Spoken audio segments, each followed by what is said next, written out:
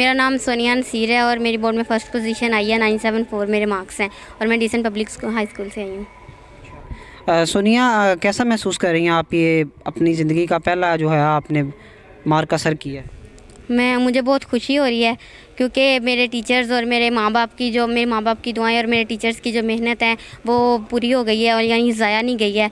और मैं आप सबसे पहले अपने अल्लाह को थैंक्स कहना चाहूँगी उसके बाद अपने पेरेंट्स और टीचर्स को।